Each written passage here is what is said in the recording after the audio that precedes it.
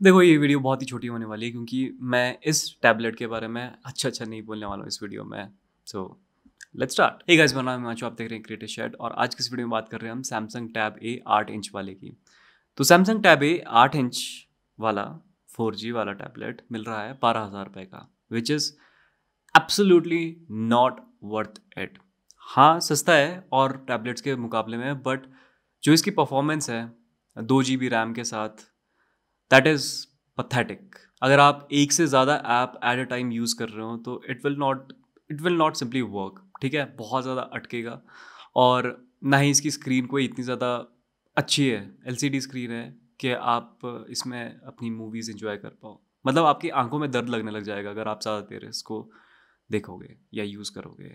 और अगर आप सोच रहे हो अपने बच्चों के लिए लेने के लिए इसके लिए तो प्लीज़ डोंट आपका जो स्मार्टफ़ोन है दैट इज़ मच बेटर जो दस हज़ार रुपये वाला है देन दिस टैबलेट तो चलो स्पेसिफिकेशन मैंने वैसे बता ही है पर इसमें दो जी बी रैम बत्तीस जी बी रोम आती है, ठीक है? फोर जी इनेबल्ड है ये, आठ इंच की एल सी डी स्क्रीन मिलती है और fifty one hundred M H की बैटरी मिलती है। आ fifty one hundred M H battery समझ के, इसको ऐसा मत समझ लेना कि it is a huge deal क्योंकि जो टैबलेट्स होते हैं, उनकी बैटरी पाँच पाँच छः हज़ार इतनी होती है, ठीक है? और वो उसके सॉफ्टवेयर ऑप्टिमाइजेशन के ऊपर होती है कि वो किस किस तरह से यूज़ कर रही है। तो इसकी पाँच हज़ार एम की बैटरी, तीन हज़ार एम की बैटरी की तरफ़ है। बाकी डिज़ाइन अच्छा बनाने की कोशिश की है इन्होंने, बट बारह हज़ार रुपये के बजट में there are lot of phones जो कि साढ़े छः पौने सात इंच की स्क्रीन के साथ आते हैं।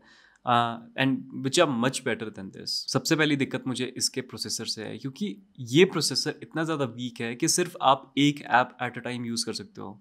इट कुड बी व्हाट्सएप सिर्फ़ व्हाट्सएप ऐप में भी ये कभी कभी अटक जाता है। दूसरी खराब बात, इसमें फास्ट चार्जर वगैरह कुछ नहीं मिलता है और अगर आपने पंद्रह वॉट और अठारह वॉट को फास्ट चार्जर बोलना है तो बाकी भैया मेरी मत सुनो, अगर आप इसके अमेजोन और फ्लिपकार्ट रिव्यूज़ देखोगे तो आपको पॉजिटिव पॉजिटिव रिव्यूज़ ही मिलेंगे। क्योंकि इसमें एक टेक्निक सैमसंग यूज़ कर रहा है या फिर जो भी इसके सेलर्स है वो यूज़ कर रहे हैं कि आपको आप जब ये टैबलेट खरीदते हो तो आपके साथ आपके पास एक कूपन मिलता है।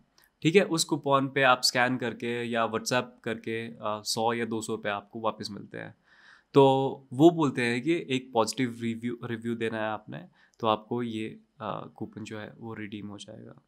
तो इस तरह से ये अपने जो आ, आ, अपनी जो रेटिंग है वो बढ़ाते हैं। तो डोंट फॉल फॉर दैट किसी भी चीज़ के लिए अच्छा है?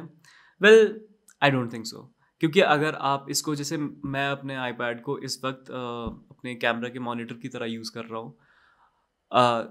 बिल्कुल फ्लॉलेसली चल रहा है, कोई अटकन नहीं आ रही है बट इसमें ये ट्राई किया था मैंने और काफ़ी ज़्यादा लैग और काफ़ी ज़्यादा अटक अटक के चला था। तो इसका जो वाईफाई अडेप्टर भी है और जो इसकी फोर जी का मॉड्यूल भी है that is not that powerful कि आपको एक फुल इंटरनेट स्पीड मिल पाए। मतलब मेरा जो अगर फाइबर भी है, आप यूज़ कर रहे हो FTTH भी अगर आप यूज़ कर रहे हो, तब भी आपको वो कनेक्टिविटी नहीं मिलती है। तो कहने का तात्पर्य ये है कि गो अ लिटिल हायर मतलब सोलह सत्रह हज़ार रुपये का जो टैबलेट है, वो मैं डिस्क्रिप्शन में लिंक दे दूँगा उसके।